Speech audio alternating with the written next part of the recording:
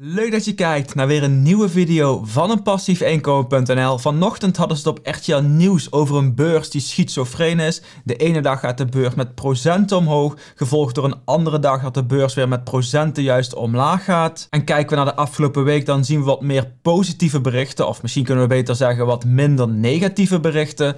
Maar de vraag is natuurlijk dan, hebben we de bodem op dit moment al bereikt? En ik denk niet dat we de bodem al bereikt hebben. We hebben al een flinke daling gezien maar nog niet de bodem bereikt. En ook als we gaan kijken naar Warren Buffett of naar Michael Burry, lijkt het erop dat de beurs nog moet halveren. Hoe dat precies zit, dat wil ik bekijken in deze video, dus laten we snel beginnen. Ik maak deze video niet om expres juist heel negatief te gaan zijn, om heel erg te gaan doemdenken over allemaal dingen te gaan zeggen die er mogelijk gaan gebeuren, dat je juist in goud moet doen, dat je helemaal heel je plan aan moet passen. Dat is niet de bedoeling van deze video. Ik wil met deze video uh, juist gewoon laten zien dat soms zijn er tijden dat het heel positief is, heel goed gaat op de beurs, maar er zijn ook zeker tijden dat het heel negatief gaat, dat je heel veel dingen dat er gaan gebeuren nog veel slechter dan dat je jezelf kunt voorstellen, maar juist om dit te laten zien om te laten zien dat het in het verleden al regelmatig of ooit vaker is gebeurd, is in ieder geval een moment voor jou om te beseffen van, of even te bedenken, uh, het kan gebeuren, uh, dat je er vast voor op bent bereid, dat je weet dat het gaat gebeuren, hoe dat er ongeveer uit gaat zien en dat het dus niet in de toekomst, als het gaat gebeuren, weet niet zeker of het gaat gebeuren, maar als het gebeurt, dat het in ieder geval niet als een totale verrassing voor jou komt. En dan wil ik ten eerste beginnen met de tweets eigenlijk van Michael Burry. Hij post regelmatig dus op Twitter uh, tweets, wat berichten, dingen die hij denkt. En dat onderbouwt hij dan ook met cijfers, met grafieken.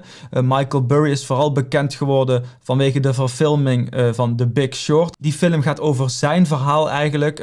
hoe hij al voordat de crisis van 2007, 2008 eraan kwam, dat hij al zag dat het over een tijdje mis zou gaan met de hypotheken in Amerika. Nou, dat is uiteindelijk ook gebeurd. Hij zag het alleen al één of twee jaar eerder ten opzichte van de rest van de markt. De markt was nog helemaal in euforie. Iedereen was heel positief terwijl hij er al voor waarschuwde. Hij werd weggezet als gek. En later kreeg hij dan uiteindelijk toch gelijk. Met dat gelijk heeft hij uiteindelijk ook zelf zo'n 100 miljoen dollar verdiend voor zich persoonlijk. Dus het is daarom om die reden altijd interessant om te gaan kijken van wat zegt hij op dit moment. Misschien heeft hij dit keer geen gelijk, maar misschien ook wel. Ik denk dat het gewoon altijd interessant is om dit soort dingen, dit soort informatie mee te nemen. Ook in je eigen onderzoek. En zoals gezegd, hij heeft dus verschillende tweets van de laatste paar maanden. Deze is bijvoorbeeld van 7 mei dat het een tweet was. En die wil ik even kort gaan behandelen. Uh, we zien hier vooral dat hij eigenlijk zegt: drie keer is scheepsrecht. De tien jaar ten opzichte, de tien jaar voordat er eigenlijk de piek van de markt werd bereikt. Ja, die ziet er telkens heel erg hetzelfde uit. Mensen zijn dus heel erg constant. Uh, we zeggen altijd wel, ja, we leren altijd van het verleden. We gaan nu dingen anders doen, maar uiteindelijk blijkt het ook heel vaak gewoon dat dingen toch uiteindelijk hetzelfde komen. Hier ziet hij dat ook met de koersen, zie je dat. Uh, in het geel is dat de beurs, de S&P in 2000, dus eigenlijk richting de piek in 2000. In het groen is dat 1929, gevolgd door natuurlijk de heel erg uh, bekende crash van de jaren 30. En in het wit is dat de koers op dit moment, terwijl we hier ook weer een daling van corona zien. En nu dus uiteindelijk zo een klein ja, een klein dalingje ook sinds dit jaar zien. Maar in ieder geval lijkt erop, als je uh, op de lange termijn kijkt, in de tien jaar dat het redelijk ja, eenzelfde trend in te zien is. En wat dan belangrijk is om op te merken, en dat doet hij ook in deze tweet, is dat een daling die daarna komt, een daling vanaf het hoogtepunt naar het dieptepunt, nooit in één keer een hele flinke daling is. Een daling in één rechte lijn, dat gaat altijd gepaard met een daling, weer een beetje herstel, gevolgd door weer een daling, weer wat herstel. En dat zien we hier ook in deze tweet, zegt hij ook. Uh, na 2000, na die piek dus, is de Nasdaq heeft hij eigenlijk 16 keer nog gerallied, oftewel weer flink omhoog gegaan, meer dan 10%, waarbij het gemiddelde op 22,7% lag uh, tussen de tijd van de piek en het dal, en het dal dat bijna 80% lager lag. En in 1929 was dat in de Dow Jones juist dat hij 10 keer gerallied is boven de 10%. Ook een gemiddelde rally van bijna 23%. En dus ook uh, dat gebeurde allemaal wederom tussen de piek van 29 en het dal wat daarop volgde, wat 90% lager lag bijna. En als we die uh, grafiek iets beter gaan kijken, dan zien we hier uh, de, de crisis eigenlijk na 2000, de dotcom-bubbel. We zien regelmatig de koers in het wit een, een, stijging maken, weer een daling, weer een stijging. En zo gaat het eigenlijk nooit in één geleidelijke lijn naar beneden. En misschien zou het daarom ook zo nu al kunnen zijn dat het gaat weer een paar dagen goed. Het gaat misschien de laatste maand alweer wat beter op de beurs. Dat we dan eigenlijk in dit soort periodes zitten, dat we eigenlijk een beetje herstel zien. Sommige mensen gaan denken dat we misschien een bodem hebben bereikt. Ik weet niet of dat is. Het zou zo kunnen zijn, maar het zou ook zo kunnen zijn dat we nu rond dit punt zitten en vervolgens weer een flinke daling aankomt. Maar je ziet wel dat er regelmatig dus um, ja, herstel is, rallies. Mensen geloven er weer in. Systemen gaan weer automatisch handelen misschien wel. En dan zie je dat er regelmatig um, best wel flinke uh, rendementen te behalen zijn in deze periode. Dus ook, ook wel belangrijk denk ik om te, om te beseffen dat het niet alleen maar geld gaat kosten. Wel als je voor de lange termijn gaat, maar misschien op de korte termijn ook geld te verdienen is. En dit zijn dan wel percentages op jaarbasis, maar het gaat hier toch om 200%, 500%, meer dan 1000%. Dus het is denk ik wel ook heel belangrijk om te beseffen dat heel veel mensen hier actief mee handelen. En dat dat juist misschien ook wel juist deze koersschommelingen veroorzaakt. En dat zijn dan ook wat worden genoemd de dead cat bounces. Oftewel een, ja, letterlijk vertaald een kat die dood neervalt. Die zal niet in één keer plat op de grond komen. Die stuitert ook nog een beetje. Dat is eigenlijk een beetje wat je met de koers ziet. Die gaat hard naar beneden, stuitert een beetje. En dat noemen ze dus een dead cat bounce. Nou, hij zegt hier ook um, de top 12 van de 20 Nasdaq eendagsrallies zijn gebeurd tijdens die daling van 80%.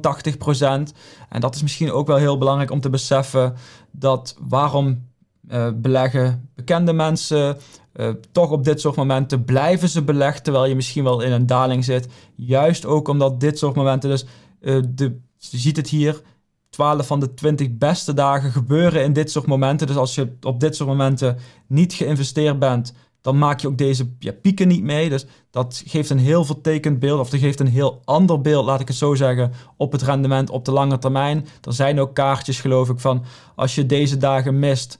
Um, als je altijd in de beurs geïnvesteerd bent de laatste 10 jaar, dan maak je bijvoorbeeld het gemiddelde rendement van 10, 12, 8, 9 procent, weet ik niet. Als je de 20 beste dagen mist, dan daalt jouw rendement al in één keer naar 2 of 3 procent. Dus dat is ook weer een reden om toch op dit soort momenten belegd te blijven. En hetzelfde zien we trouwens gebeuren, de dead cat bounces. 9 van de 20 in de S&P, uh, beste eendagsrallies, zijn gebeurd tijdens de uh, 86% daling vanaf de top van 1929. Dus eigenlijk weer hetzelfde beeld dus wat we zien. In de volgende tweet vertelt hij dan juist over het volume van aandelen. Um, en wederom een onderbouwing waarom hij denkt dat we op dit moment nog niet de daling hebben gezien. Hij zegt ook van top to bottom, van de piek tot aan het dal. Microsoft werd 5,2 keer het aantal aandelen wat uitstond verhandeld in 2002. 3,3 keer in 2009 en op dit moment, en dat was 11 mei, 0,5 eh, keer. Dus je ziet wel dat er nog veel meer gehandeld moet worden. Um, als we tenminste nog een daling tegemoet gaan. Amazon was dat 5,7 keer in 2002, 6,6 keer het aantal aandelen in 2009 en 0,9 keer tot zover. JP Morgan hetzelfde verhaal. Hij zegt dus, er komt nog een hele lange tijd aan dat er nog heel veel gehandeld gaat worden. Waarschijnlijk omdat mensen zijn aandelen juist kwijt willen. Iemand anders dus weer op gaat kopen. Maar heel veel mensen in paniek raken en dus waarschijnlijk nog aandelen gaan verkopen. Hoe ziet dat er tenslotte dan uit? Waarom zeg ik dat hij denkt dat de beurs nog ongeveer moet halveren? Nou, wederom zien we hier, um, hij heeft een analyse gemaakt dat eigenlijk de S&P altijd um, nog een stukje lager gaat dan een daling die we eerder hadden gezien.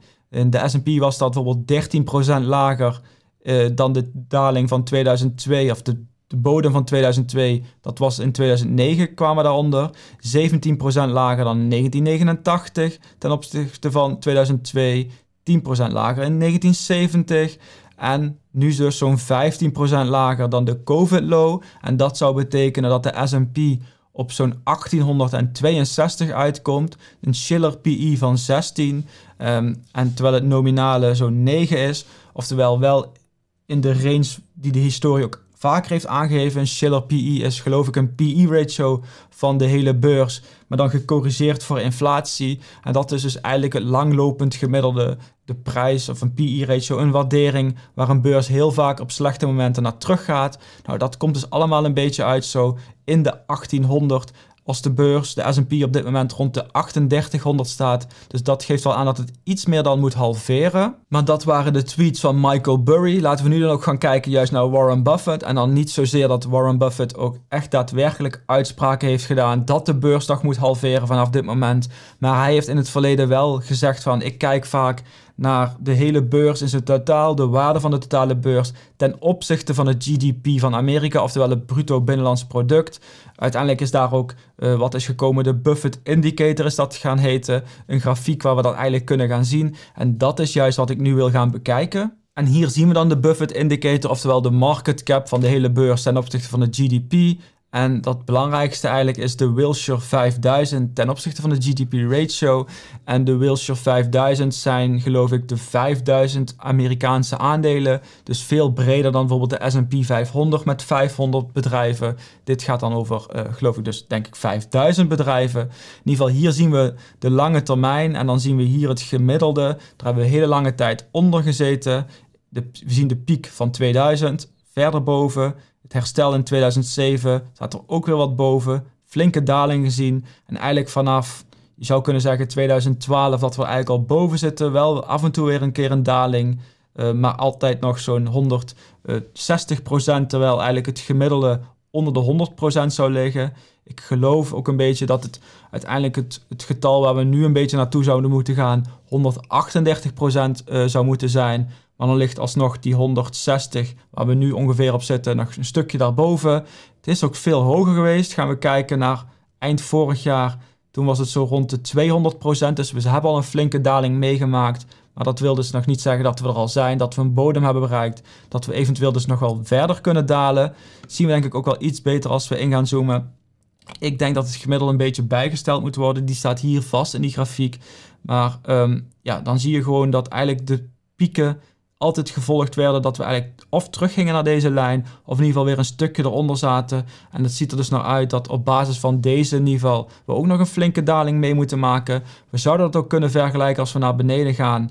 En hier heb je telkens meerdere grafieken, meer uitleg. Uh, ik denk naar de S&P 500, maar dan helemaal onderaan. De S&P 500 ten opzichte van het GDP.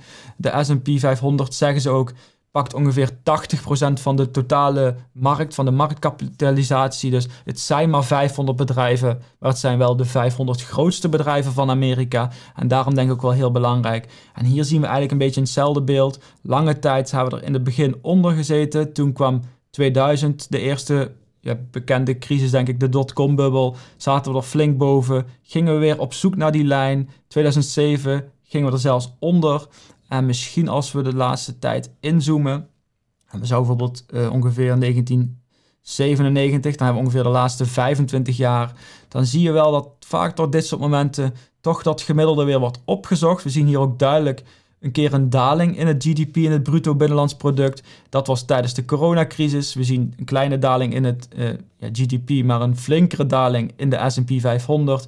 En ook hier zien we, we hebben al wel een flinke daling meegemaakt maar nog niet dus eigenlijk om weer richting dat GDP te gaan, dat gemiddelde, die lijn die we dus eigenlijk historisch gezien in ieder geval vaker opzoeken. En zouden we die lijn op gaan zoeken, dan ligt die nu ongeveer rond deze koers. Je zou dus kunnen zeggen een beetje, ja, ongeveer het moment dat het hier was. En dat zie je ook weer, gaan we weer richting die 1800, 1900 punten voor in ieder geval de S&P 500. En 1900 is gewoon wederom een halvering van de koers van de S&P op dit moment, want die staat iets boven de 3800 punten. Dus ook op basis van deze grafieken, van deze cijfers, zou je kunnen zeggen dat we, als er nog een daling komt, als we de bodem nog niet hebben bereikt, dat die nog flink kan dalen. En dat we dus best nog makkelijk een keer moeten halveren met deze koersen. En nu we deze cijfers, nu we deze grafieken of tweets hebben gezien, kun je denken van is dit nu wel het moment om te gaan beleggen? En ik denk toch zeker dat dat wel gewoon het geval is. Eigenlijk natuurlijk vanwege twee redenen. We weten ten eerste niet of het gaat gebeuren,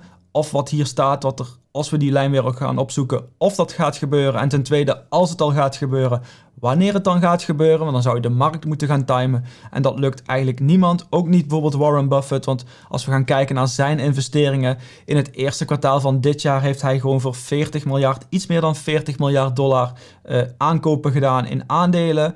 Hij heeft op dit moment nog zo'n 100 miljard achter de hand.